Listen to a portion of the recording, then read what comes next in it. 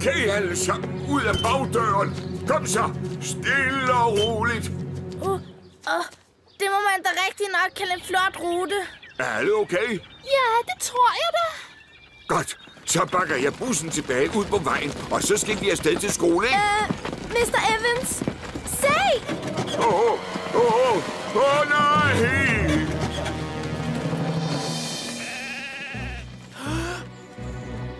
Var det ikke meningen, at du var syg? Vi har brug for hjælp. Skal vi ikke bare ringe til brandmand Sam? Jeg vil gerne, men min mobiltelefon ligger i bussen. Overlad det til mig. Jeg så Mikes telefon ligge i hans værktøjskasse.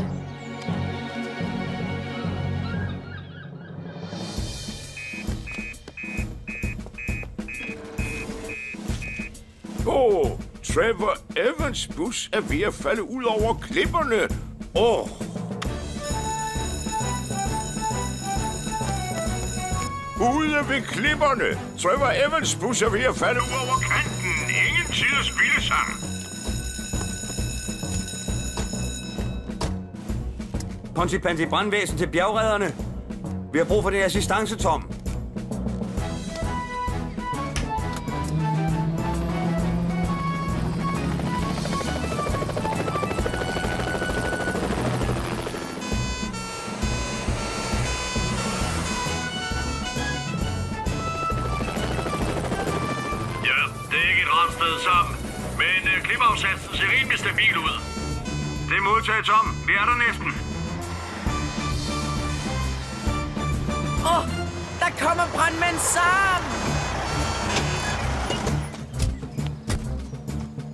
Flere tilbage inde i bussen? Nej, Sam.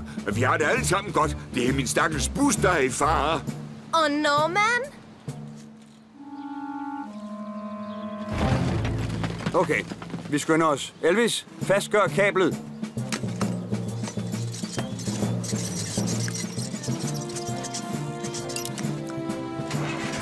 Hold afstand alle sammen. Stille og roligt. Tom, hurtigt! Klipperne er ved at smuldre. Tom.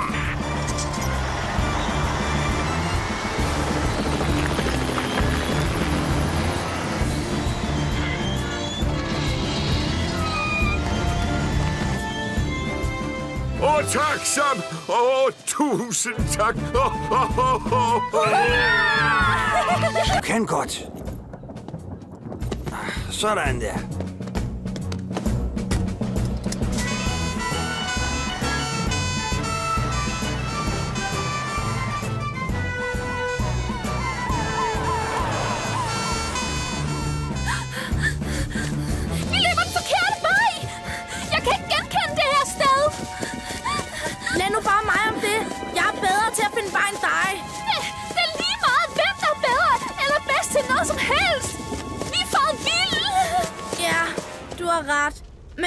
Skal vi finde den rigtige vej?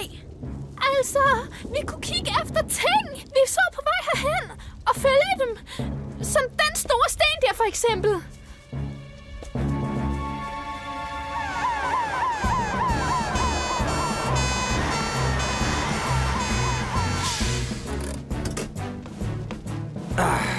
Bronwyn, har du nogle af tvillingernes ting?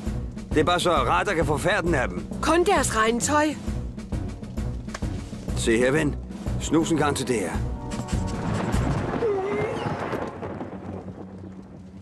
Kom nu, Radar. Det er vigtigt. Vi skal finde James og Sarah.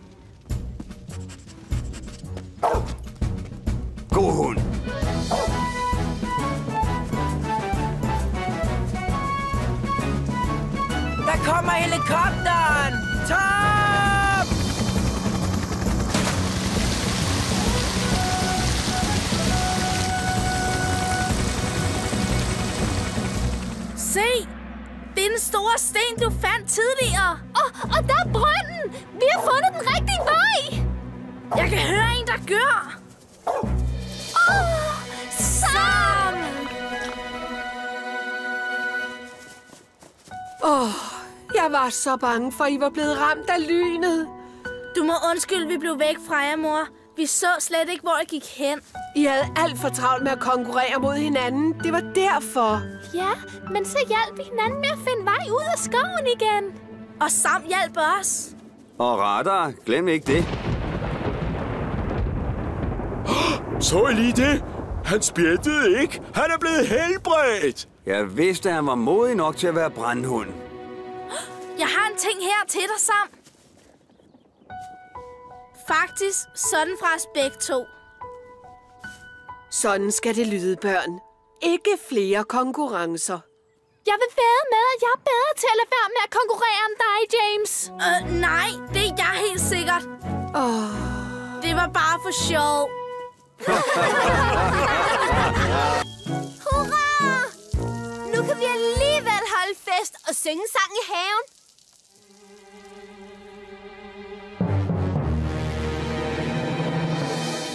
Ikke Brange, siger du. Er du sikker? helt sikker. Bare et slag. Åh, jeg er glad for, at strømmen er tilbage. Man ved aldrig, hvad Mike kan finde på af ulykker i mørket. Jeg er helt enig, Helen. Det er skam ikke alle, der kan bevare roen, når lyset går.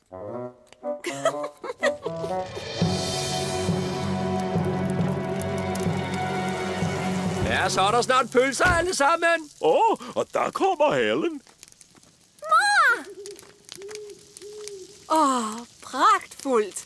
Jeg er kommet lige i rette tid. Og jeg behøvede slet ikke at gøre noget. Det var også planen. Åh, oh, servietterne.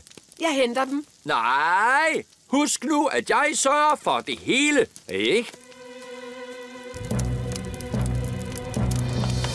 Oh. Hjælp! Brand! Helen! Gør noget! En eller anden! Ring efter brandmand sammen.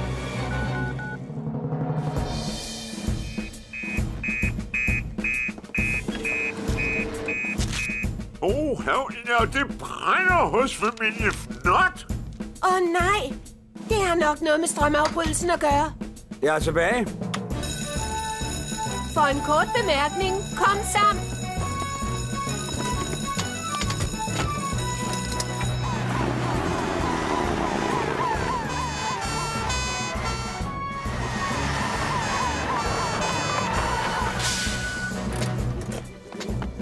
Okay, så der er altså ingen derinde? Nej, vi er her alle sammen.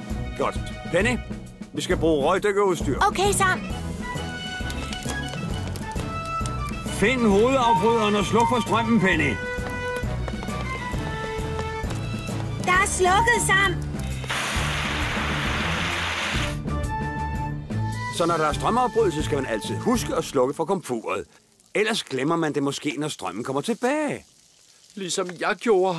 Og læg aldrig noget som helst på komfuret, som for eksempel servietter. Ligesom jeg gjorde.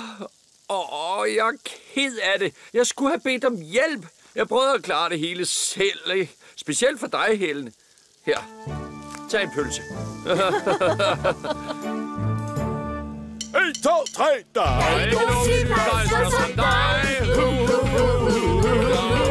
Der er ikke nogen sygeplejersker som dig. Sygeplejerske. Åh, det var fantastisk. Du laver! Jeg sagde nej, Norman! Malen, den har ramt os. Og Norman! Hvorfor gjorde du det? Jeg ville jo bare fange den, så jeg kunne blive vinderen. Uh, uh, far, der, kom, der kommer vand ind.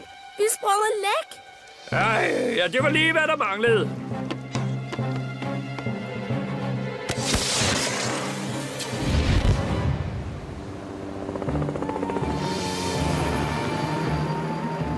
Nødblus. Charlie må være i problemer. Du må hellere ringe til brandmanden sammen.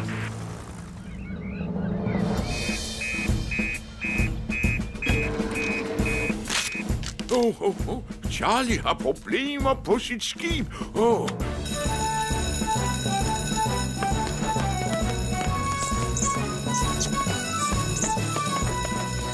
Redningsaktion til søs. Skib på ulykke i bugten. Menes at være fisker Charlies. Muligvis børn ombord.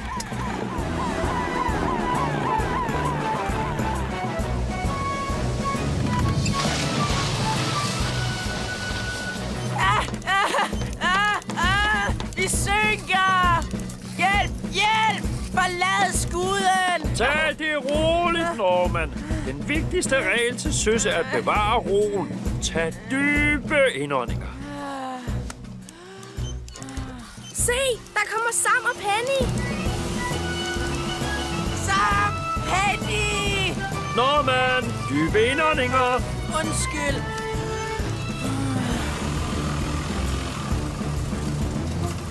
Er nogen kommet til skade? Nej, kun skibet. Hun klarer sig så længe bliver ved med at pumpe vandet ud. Godt. Lad os få børnene herover. Sarah? Ah. James? Ah. Og du bliver her og hjælper Charlie, Norman. Hvad? Men... Okay, jeg bliver... Tak, Norman. Flot klaret. Vi tager dig på slæb, Charlie. Vi må prøve at lede kalven ud til søs sammen. Okay? Ja, det tror jeg godt, Norman og jeg kan klare.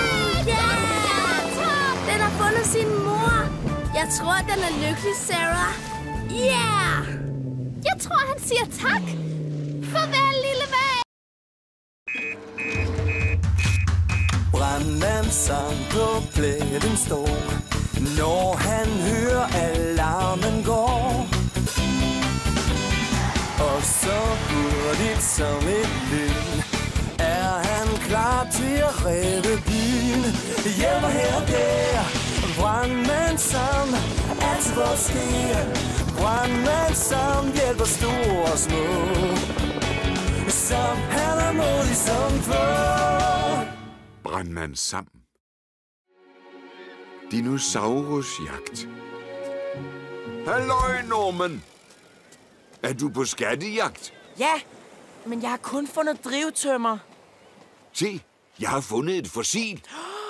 Det er en ammonit, og den er millioner af år gammel. Endnu ældre end dinosaurerne. Sejt! Men en dinosaur havde alligevel været sejere. Der var dinosaurer her omkring. Øh, nogle steder kan man faktisk se deres fodspor bevaret i jorden, som det her. Wow! Jeg går på jagt efter dinosaurus fodspor. Rolig nu, Norman.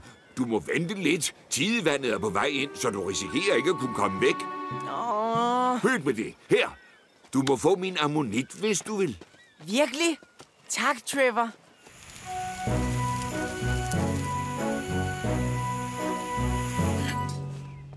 Godt klaret, mænd. Og øh, kvinde. Ilden er slukket. Men se! Bare rolig her.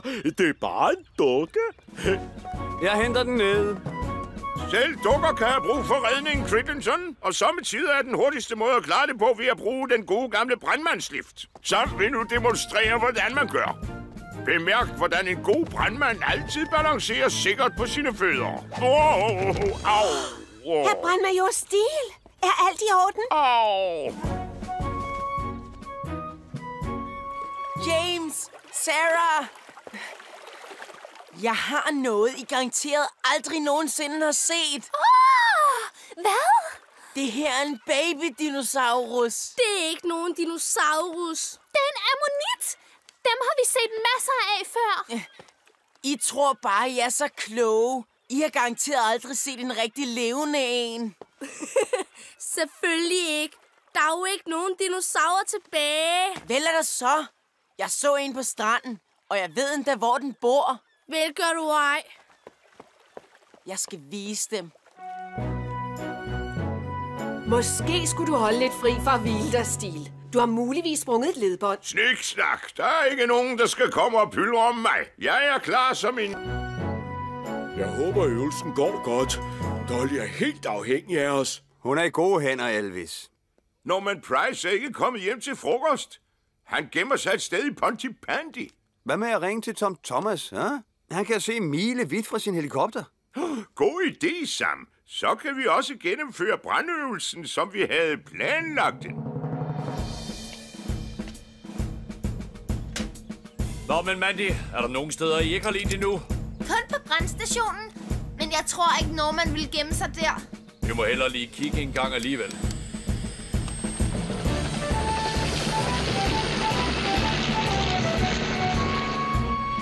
Du siger ikke ret meget, var? Det lyder altså som Toms helikopter. Kan vide, hvor han er ude at flyve.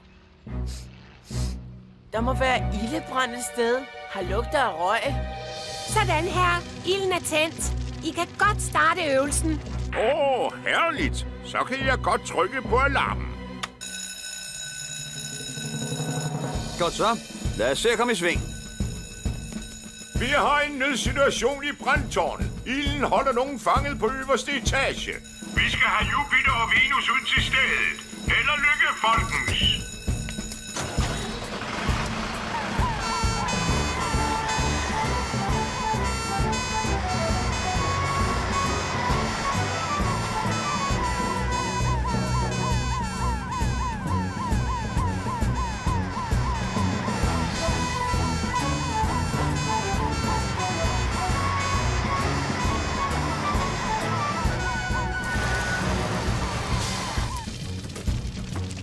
Rolig, Dolly.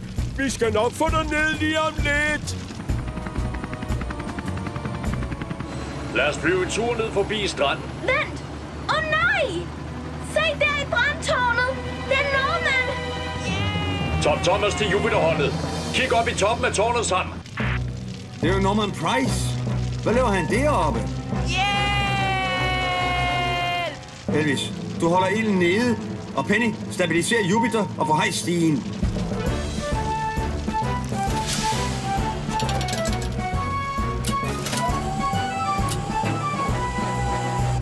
Bare rolig, Norman. Nu kommer Sam og redder dig. Åh, oh, åh, oh, hvad sagde jeg? Jeg vidste bare, Norman var i fare.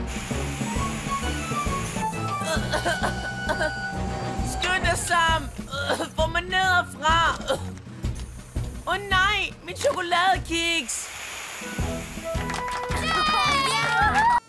Åh, oh, det lyder som Jupiter. Hvad må der sker? Herover, Sam! Øh, han er et sted nede under de sten der. Så retter, find James til os. Med radars gode lugtesans kan vi finde ud af præcis, hvor James er fanget. På den måde kan vi nøjes med at rykke på stenene lige rundt om ham. God hund. Er du okay, James? Øh, ja. Ikke en skræmme. Jeg blev ikke ramt af noget. Jeg er bare spærret inde bag stenene. Penny, skynd dig at hente præsendingen i Jupiter. Vi bliver nødt til at lave en afspærring i tilfælde af, at der falder flere sten ned. Det skal jeg nok, Sam.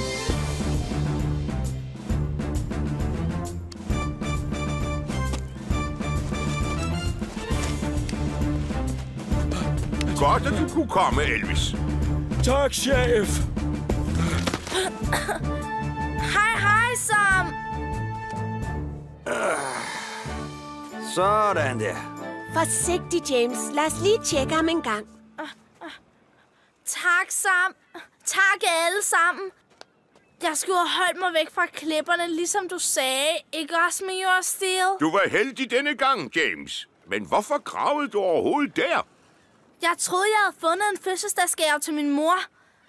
Men det var bare en sodavandsdåse. Jeg ville så gerne have givet noget helt særligt. James Jones, det eneste, jeg ønsker mig, er, at du er i god behold. Mm. Ja. Brandmajor Stil. Hvad med at prøve en sidste gang, om du kan finde de der mønter? Jeg tror, jeg har fået metaldetektor nok for i dag.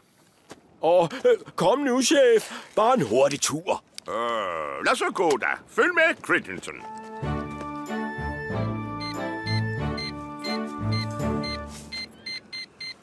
Tjek hans udtryk, når han graver min sparebøsse frem. Nej, kom lige herhen, øh, alle sammen. Øh, Har du fundet noget spændende, chef? Åh oh, ja. Gamle mønter. En hel masse. Jeg vidste, de kostbare mønter lå begravet her. Haha, jeg vidste det. Haha. Det ligner ikke rigtig din sparebøsse, Elvis. Nej vel? det var sandelig heldigt, hva'? Kom så, Radar. Øh, Her kommer din mad, mor. Mm, hvor det dufter godt, Bronwyn. Jeg skal ikke på arbejde i aften, Helen. Jeg kan smække benene op. Ja, så må I tage til takke med min mad og hjælp fra mine to søde assistenter.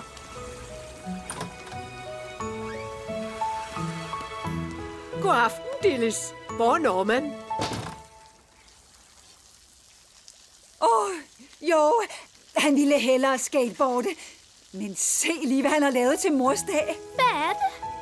Det ligner en kapsel, der er sømmet fast på et stykke træ. James, vær sød nu. Det er en lysestage. Har du noget imod, at jeg tænder den? Nej, Dillis, selvfølgelig ikke. Slet ikke. Uh, uh, morsdag er noget skidt. Alle mine venner er sammen med deres mødre. At køre på skateboard er vildt kedeligt, når man er alene. Tak, fordi du inviterede mig ud, Trevor. Det var en dejlig idé. Middag med levende lys. Uh, undskyld. Uh! Uh! Ryk helt væk, Dillis! Uh!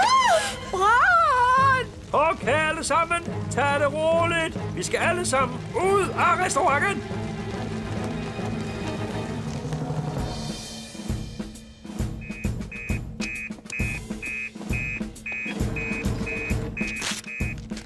Stranden nede på Fiskecaféen.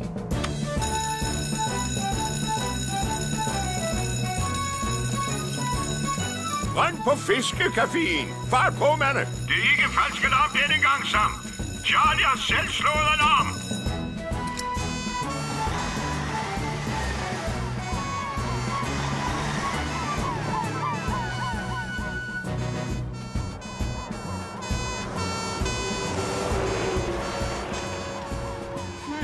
Jeg ved, hvor det brænder henne.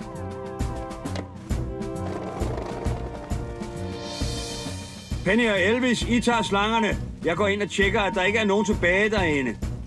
Okay, Sam.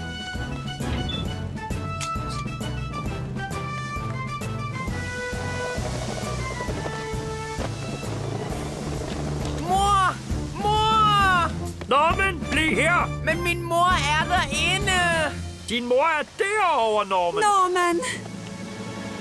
Åh, oh, mor. Jeg var så bange. Jeg troede, du var i fare. Åh, oh, Norman.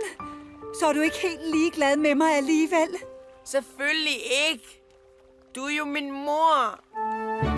Hey, gem nogen til mig. Men du har masser i forvejen, Norman. Vi arbejder nemlig sammen. Finder et bedre sted med masser af muslinger, inden tvillingerne tager dem alle sammen. Uh, ah!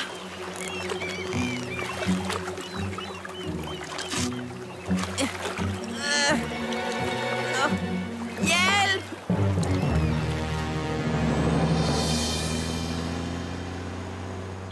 Hør her, Elvis. Redningssaksen er et godt stykke redningsudstyr, men det kan altså ikke bruges i alle situationer. Nej, nej. Kom nu, Norman. Træk. Uh. Ah. Oh. Jeg er våd. Og det bliver værre. Tidvandet stiger. Vi er nødt til at få dig fri derfra. Træk, Norman. Det gør jeg også. Jeg sidder fast. Øh, Jeg kan ikke efterlade dig her. Hvad skal vi dog gøre? Hente brandmand sammen! Uh, oh, nogen sidder fast imellem klipperne på stranden.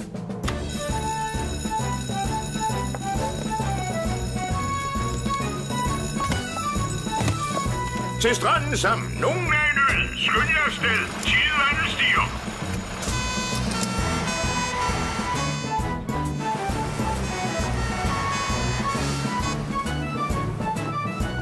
Tag heller redningssaksen med, Elvis. For en sikkerheds skyld. Ja! Yeah!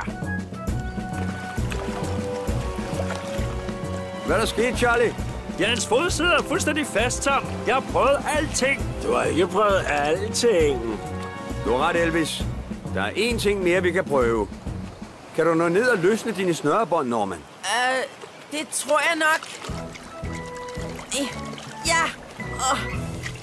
Tusind tak, brandmand Sam. Øh, bare jeg dog havde tænkt på det. Lige et øjeblik. Hvor min lykkespand? Hvor har du stillet den, Norman? Åh, oh, den er væk. Ærgerligt, Norman. Den må være drevet væk. Kom så. Vi må hellere vende hjem, inden tidvandet afskæres. Vent. Hvad med min sko? Bare rolig. Hjælpen kommer her.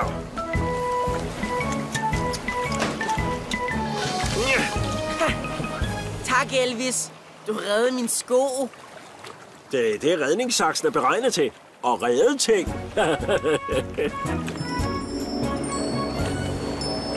Kom, Jeg prøver hotboard huske det, men det kan jeg altså bare ikke. Øh, oh, øh, det her ligner Helens.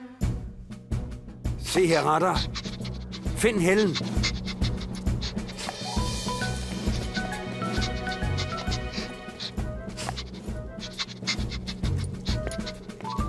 Pontypandebjerget er den vej sammen.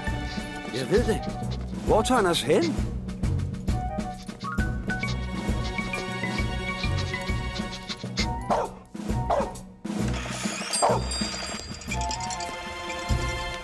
var ikke mig. Goddag, Radar. Hvad laver du her?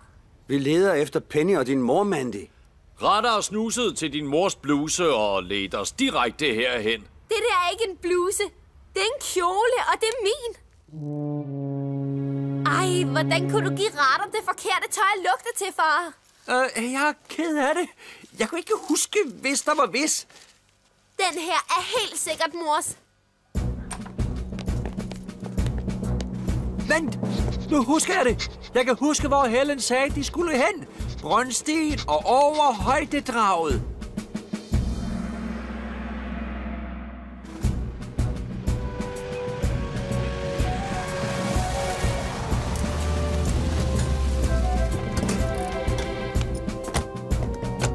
Kom så, retter. Prøv så at finde dem. Oh, oh.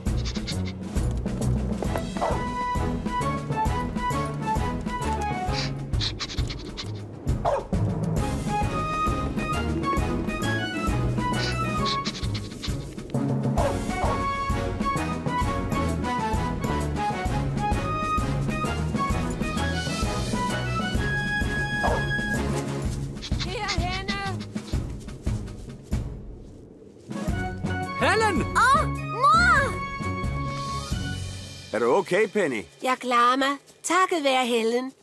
Åh, oh, det var godt, du huskede at sende et redningshold afsted, Mike. Selvfølgelig. Og øh, jeg huskede endda, hvor I skulle hen. Til sidst.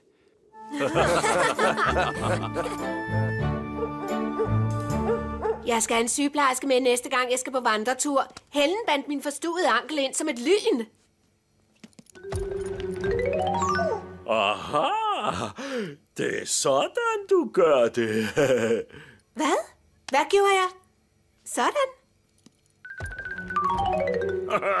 det var min lille hemmelighed. Hvorfor opdagede jeg det ikke? Oh. det ser ud til, at du har lært retter et nyt trick, Elvis. Mor, har vi så ikke en anden kæmpe julemand? Nej, Norman, det var den sidste. Kan du ikke bestille en? Ikke en uge før jul, det er umuligt. Den kan ikke nå frem i tide. Du kan jo bare sige, at det er et nødstilfælde. Hjælp! Nødstilfælde! Ikke på den måde, mor. Nu er du fjollet. Mor! Tilkald brandmand sammen!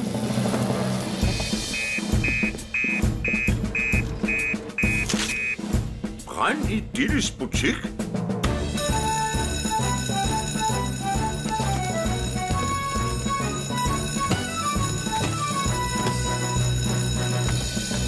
Der er brand i Dilles supermarked, Sam. Det var hende selv, der alarmerede os. En mand er faldet over bord i havnen. Vent sammen! Hvad er der? Jeg har fået en besked mere. Der er en mand, der falder over bord nede i havnen. Send Penny ned til redningsbåden, chef. Ja, ja, ja, ja, ja, du har ret sammen. Benny! Jeg er allerede på vej, chef.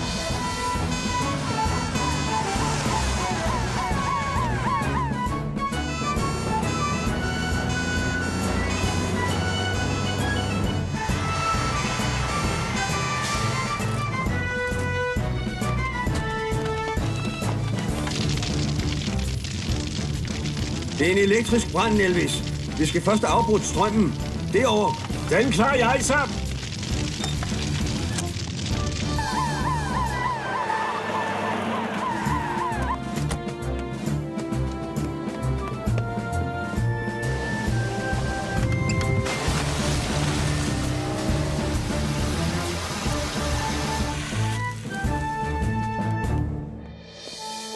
Alt er i orden, Dillis. Ilden er slukket nu, og situationen er under kontrol. For mange stik samlet i en gammel stikdåse. Det var derfor, ilden brød ud. Elvis har ret, Dillis. De gamle stikdåser er meget farlige. Du skal passe på, at du ikke overbelaster dine stik. Jeg forsøgte at sige til Norman, at vi havde for mange lys, men han ville bare have flere og flere og flere. Undskyld, mor. Oh!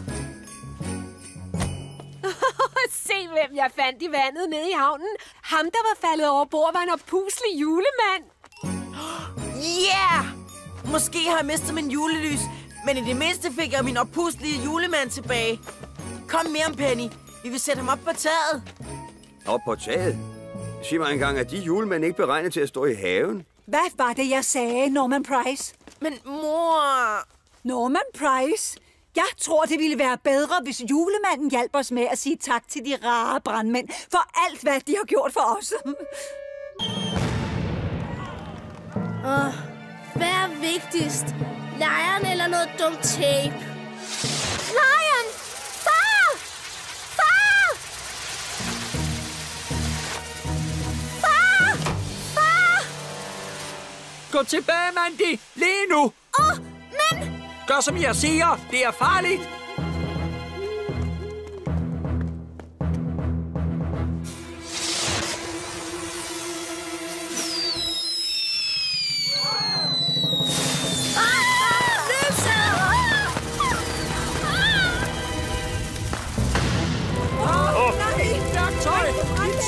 Værktøj!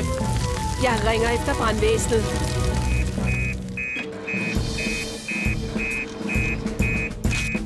Brand hos familien Flot. Åh oh, nej. Fyrværkerifesten.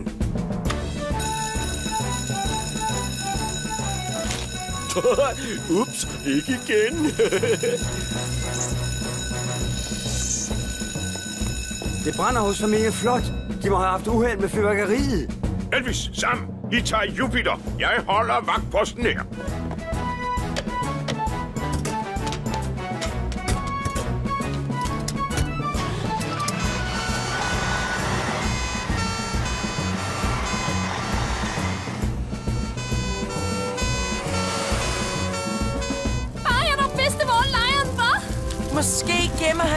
Derinde lige nu. Det må du altså ikke sige, Norman.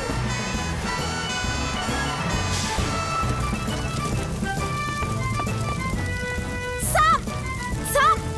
Vi tror, at lejren måske gemmer sig i fars værksted. Igen? Okay, vi undersøger det.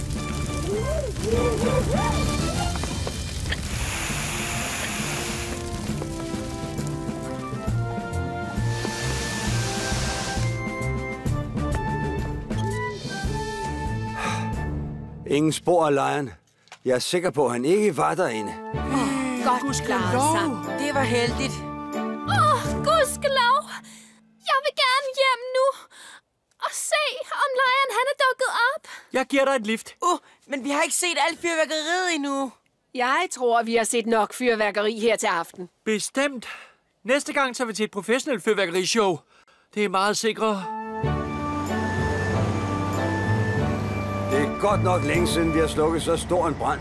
Så længe, at jeg næsten har glemt, hvordan man gjorde. Hvad var det for en lyd? Hørte du det, Elvis?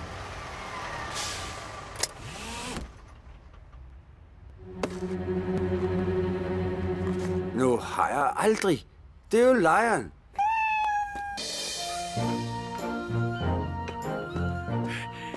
Jeg har taget noget frokost til... Dukke? Dukke? Dukke! Hvor er du? Parat! Start! Nu!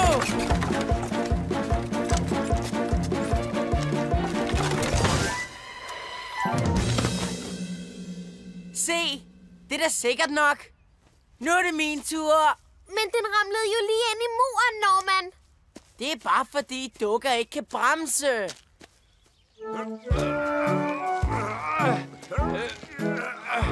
Åh, undskyld, Trevor. Jeg lagde nogle kilo under julen i morges. Jeg forstår ikke, hvad der kan være sket med dem. Åh. Parat! Start! Nu! Uh, uh, Racerkører Norman Price tager føringen!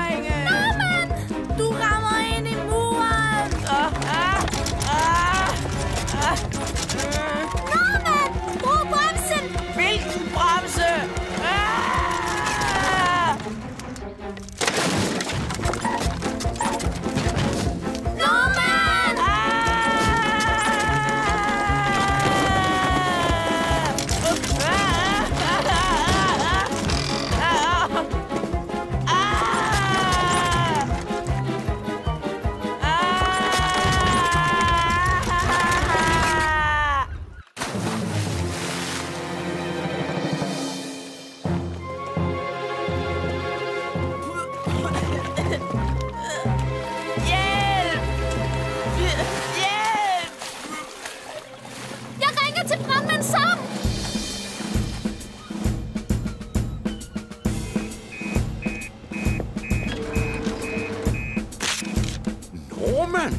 faldet ned fra kajen.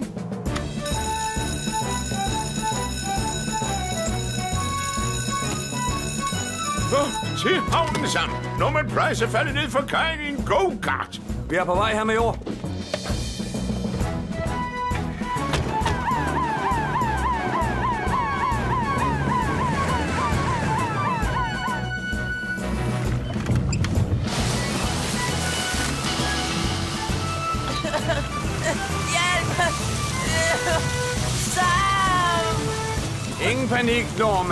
Vi er her nu.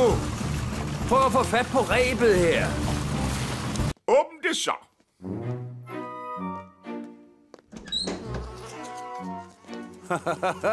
nu kom der en flue ind i stedet for. Åh, oh, væk fra mit saftevand. Øh, øh, nu skal jeg hjælpe.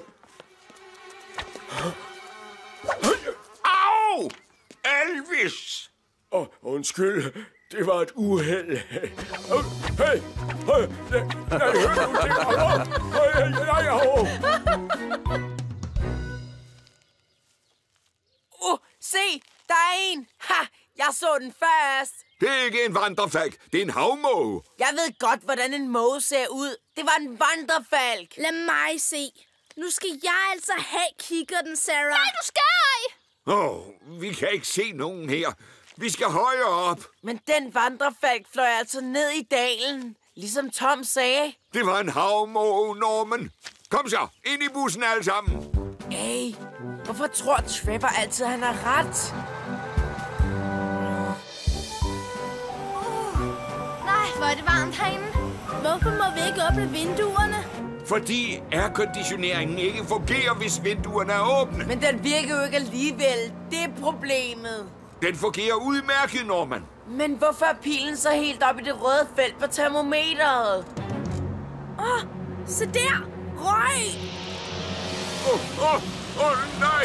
Ud alle sammen! Nu!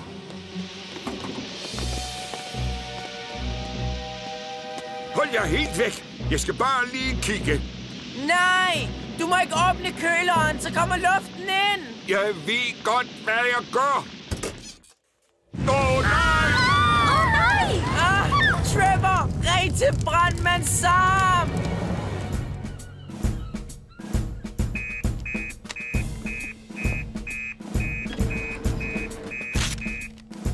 Brænd i en bus? Åh, oh, oh, nej!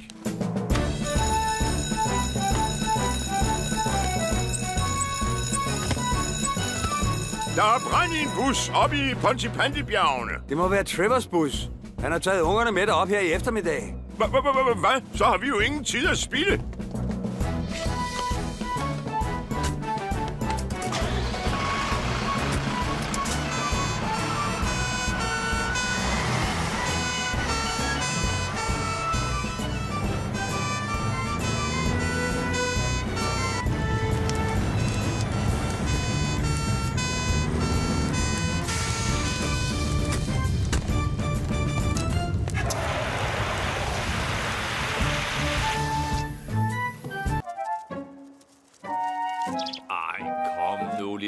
Hold op med at fjolle rundt. Du skal ud i naturen, hvor du hører til. Smut! du har vist passet og plejet den lidt for godt, Tom. Smut!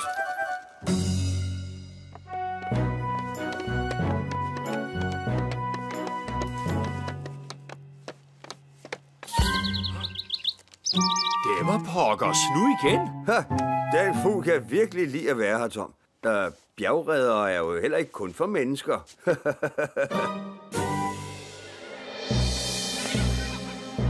Hjælp! Hjælp! Hjælp!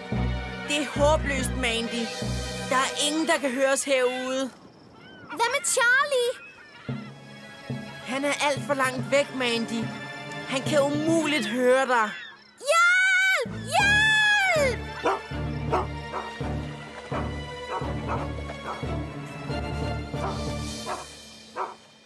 Radar?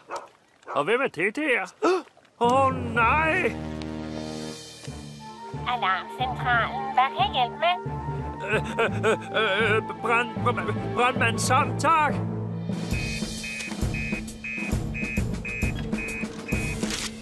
Norman Price nedstedt i bjergene. Uh, det lyder som et job for bjergredderne. Jeg tager helikopteren sammen. Vi ses om lidt.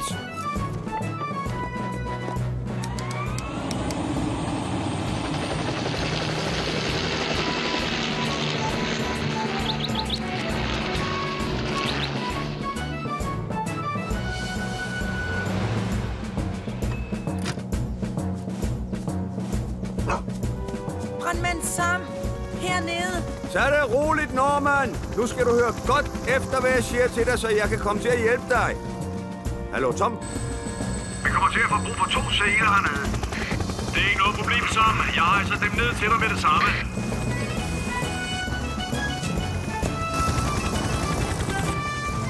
Okay, Norman. Jeg kommer ned med en sele til dig.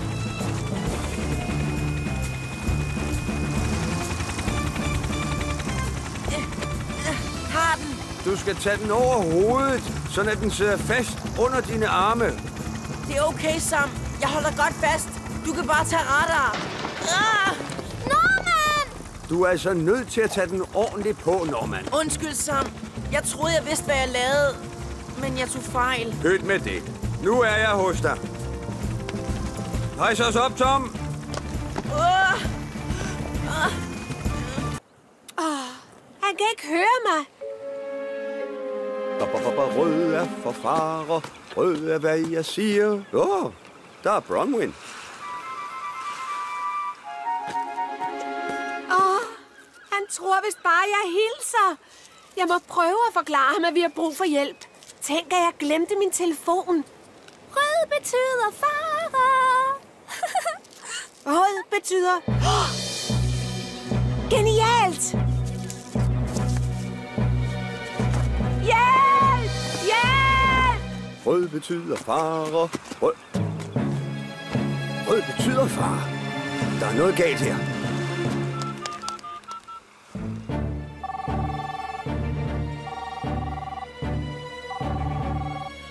Åh, oh, jeg håber, han forstod mig.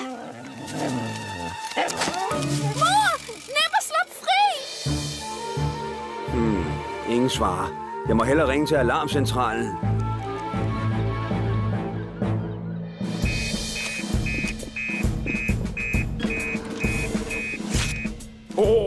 Oh, oh, nej! Bronwyn er i nød. Jeg ringer til bjergredderne.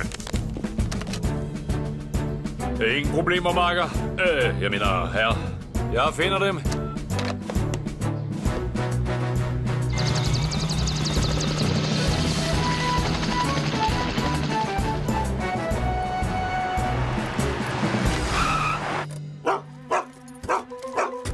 Nipper? Hvad laver du herude? Nipper! Nipper! Kom her!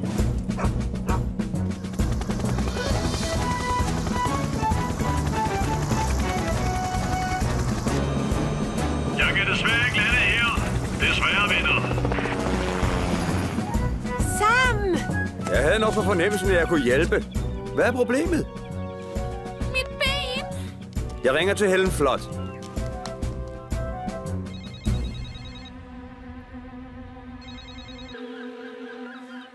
Sig mig, hvorfor tager folk ikke deres telefon i dag? Hallo? Nipper hentede mig. Nipper! Sikke en dygtig dreng. Det skal nok gå, Sarah. Vi skal have dig på hospitalet og taget et røntgenbillede. Tom, vi får brug for en borger hernede. Den klarer jeg, Tom.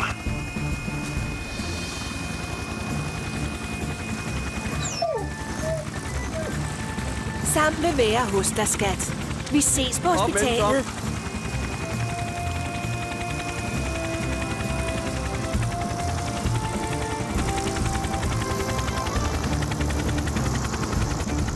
Norman? Nej, det er det ikke. Det er en ulv! Mor!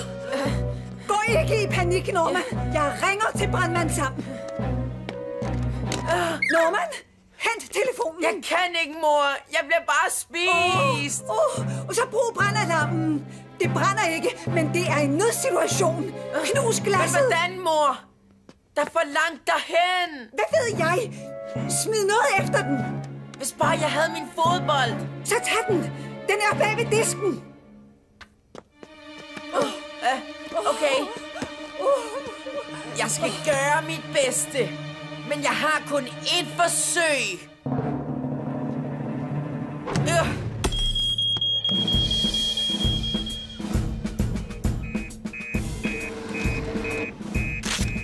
Er det lavpris-supermarked igen?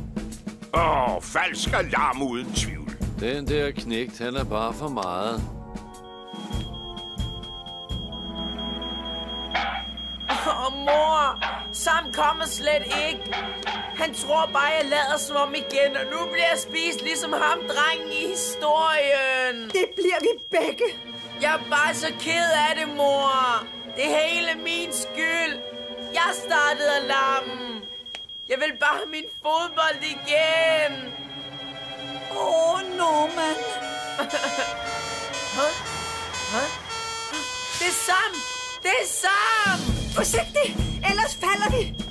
Norman Price, nu må det her høre op.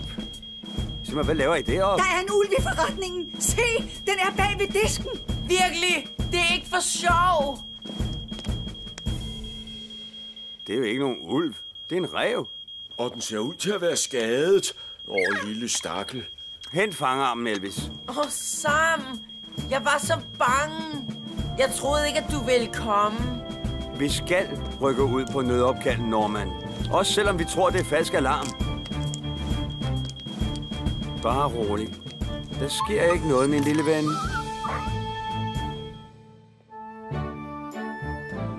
Sådan. Jeg lægger lige en forbinding på hans bagben, og så er han frisk igen i løbet af ingen tid. Sam, Ja, Norman. undskyld, jeg råbte ulv. Det var mig, der satte alarmen i gang. Det ved jeg godt. Men godt, at du indrømmer det. Pas på dig selv. Jeg tror ikke, at Norman vil råbe ulv igen forløbig. Eller mener du råbe rev? Elvis. Jeg må sige, at jeg er overrasket over, at vi ikke har flere alarmopkald i det her vejr sammen. Solens stråler er frygtelig stærke. Det er det bestemt.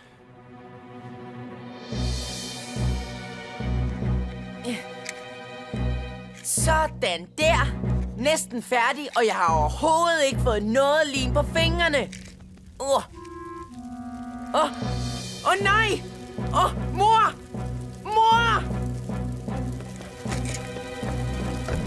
Mor! Hmm? Ah! Dumme lim! Mor!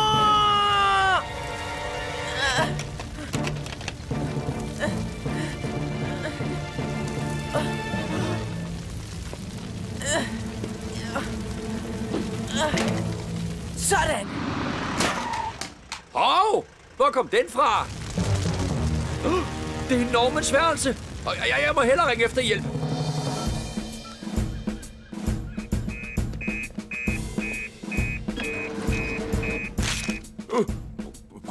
Brand! Oven på Dillis forretning!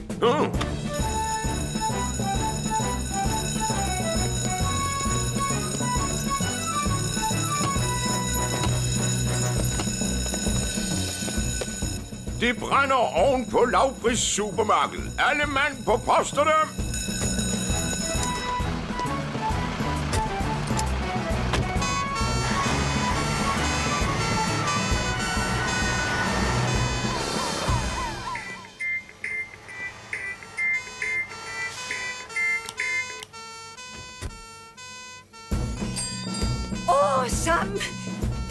Kan hjælpe mig igen.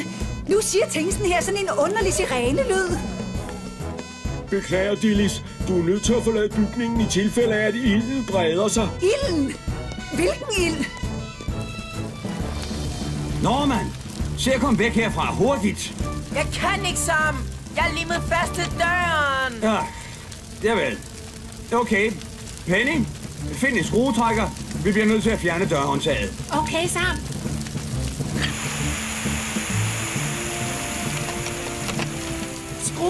Rustet fast, Sam. De giver sig ikke. Så tag hele døren af.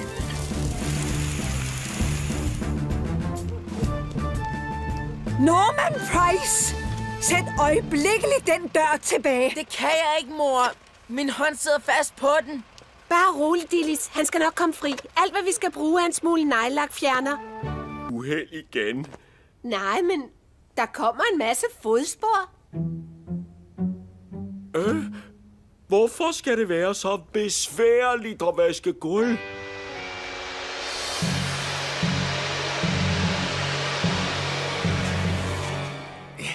Jeg bliver nødt til at skaffe en ny rem til din vaskemaskine, Dillis. Ja, du har vist overfyldt den. Det var ikke mig. Det var Norman. Nu ved du, hvorfor jeg aldrig beder ham om hjælp. okay, vi ses, Dillis. Halløjsa. Hej, Mike. Norman? Åh, oh, hvad nu? Jeg har jo vasket. Nej, du har ødelagt vaskemaskinen. Åh, oh, så nu må du altså pænt spørge Mike, om du kan vaske vores beskidte tøj i hans maskine. Men... Men, øh, øh... Hyg dig, Norman. Måske vil Sarah og James med ud og stå på skateboard.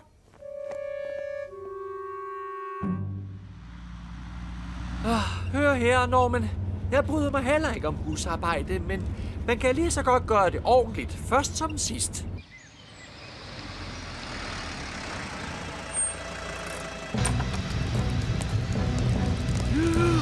Åh, oh, nej! Ring oh. efter brandmand Sam!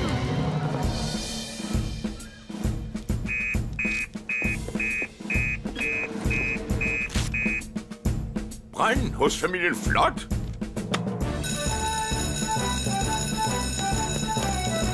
Åh oh, oh, nej! Hvorfor kommer ulykkerne altid på det helt forkerte tidspunkt?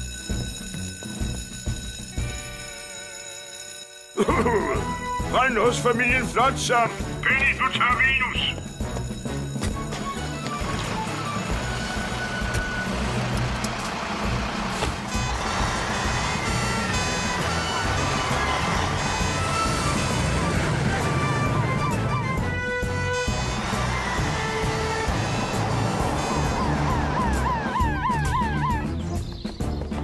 Ryk væk fra huset, Mike. Vi overtager herfra. Elvis, slå strømmen fra. Okay, Sam.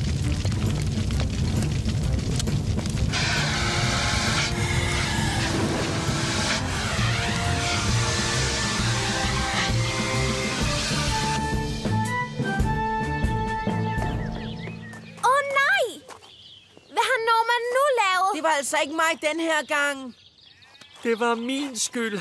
Jeg glemte strygejernet, da jeg gik ud. Ja, man kan aldrig være for forsigtig, uanset hvad man har gang i. Ja, selvom at mobbe gulv kan være meget farligt. Ja, nu har jeg renset det grundigt, og det virker igen. Men det ville være en god idé at se til det lidt oftere. Er du sikker på, at det er i orden, Mike? Han lugter da lidt brændt. Gør det ikke? Hmm, jo, du har ret, Bronwyn. Det havde jeg ikke lagt mærke til før.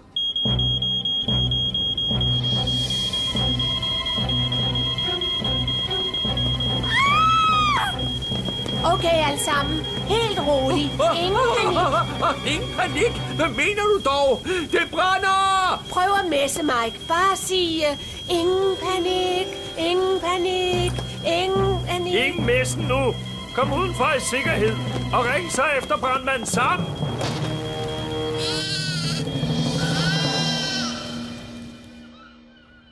Han har jogget hele dagen sammen. Jeg så det også. Tja, han jogger ikke nu.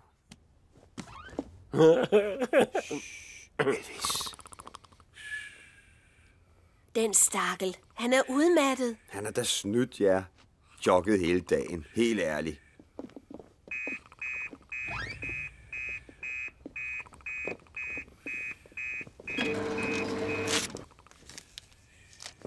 Det hed i fiskebutikken.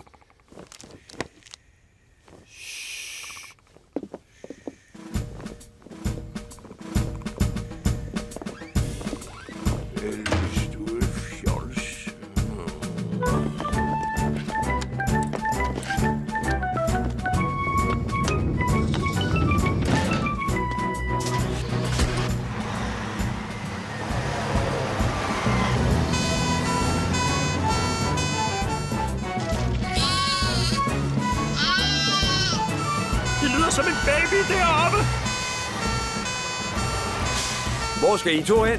Vi skal redde babyen. Jeg vidste ikke, I havde en baby. Det er ikke en baby. Det er Ullas lille lam. Det var bare for sjov. Det hele er min skyld. Og undskyld. Det er okay, Sarah. Vi klarer den herfra. Penny, tag røgdykkermaskerne. Elvis, klargør slangerne. Jeg skal nok redde babyen.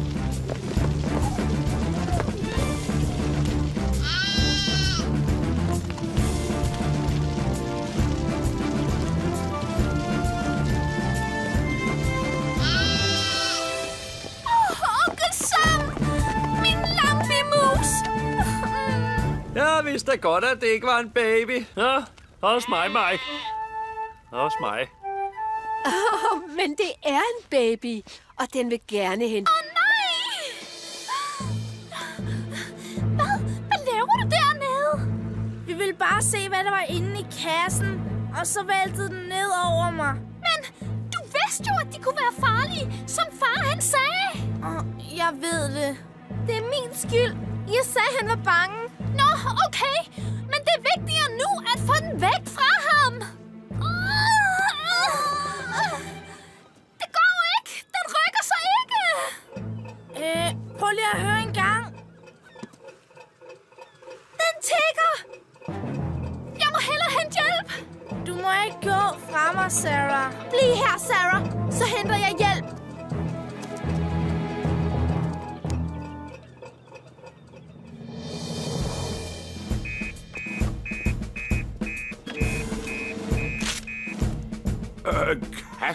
Vasket op på stranden. Og den tigger. Oh, James Jones sidder fast under den. Stranden sammen, så hurtigt som muligt. Person fast klemt under kassen. Vi er der så hurtigt, som vi kan. Og vil du bede Penny holde udkig efter dem her med jord? Skal jeg nok sammen. Jeg nåede lige at sige, at det var en stille dag.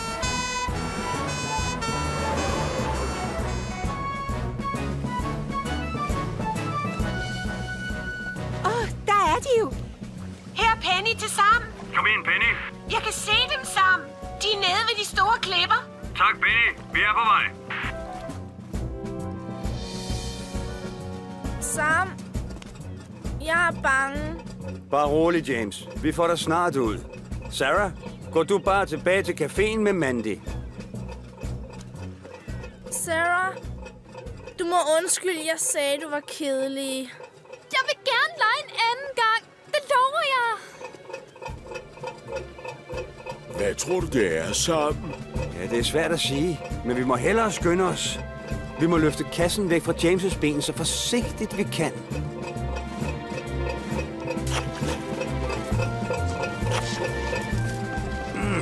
Hvordan går det, James? Ja, jeg er ude. Hvad det end er, så bliver det lige højere. Ved I, hvad det lyder som? Uger. Masser af... Vækkeuger. Nå, nu ved vi da, hvad der er i kasserne, ikke, James? Det ville aldrig have været sket, hvis vi ikke havde skændtes, far. Undskyld, far. Jeg skulle bare hørt efter, hvad du sagde. Kom her, min dreng. Nogle gange bliver man bare nødt til at finde ud af tingene selv, ikke? Tak, Sam. Tak, Elvis. Det er det, vi er her. Åh, oh, Sarah. Vi må ikke opgive håbet. Lion har været væk før, men han er altid kommet tilbage. Kom nu, lad os gå hjem. Det kan være, at Lion allerede er kommet tilbage og venter på os lige nu. Der er en mønt.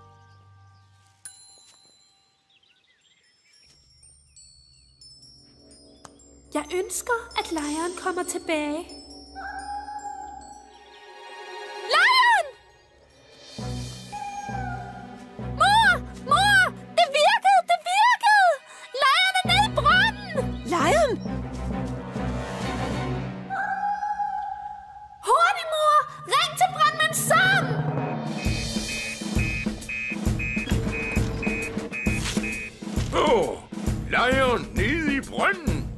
Brønden. Gå.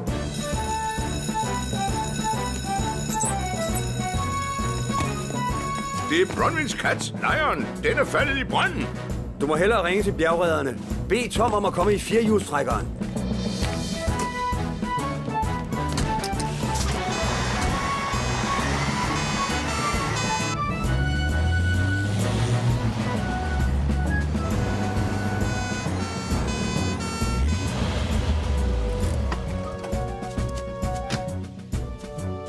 Jeg er glad for at se, at bjergredderne vil rykke ud for en kat. Jamen, selvfølgelig, Bronwyn. Bjergredderne er faktisk ikke kun til for mennesker. Der er de, Penny.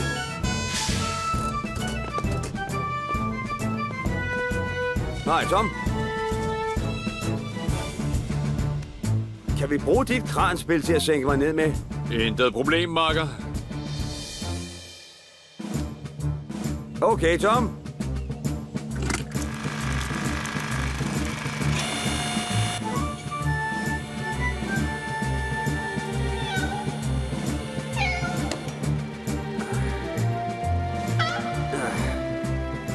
Okay, Penny. Okay, Sam. Stakkels Lion. Åh, oh, fantastisk.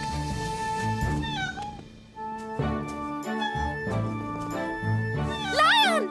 Hvor skal du nu hen? Stakkels dyr. Han skal sikkert bare strække benene efter at have været dernede.